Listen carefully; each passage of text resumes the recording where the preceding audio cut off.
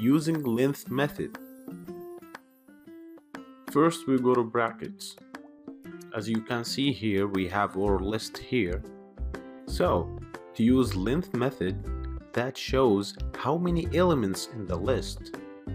We type print parenthesis len parenthesis and the list name which is list.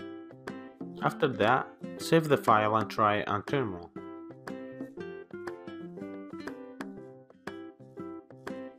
Cool, it's printed that four elements, which are correct.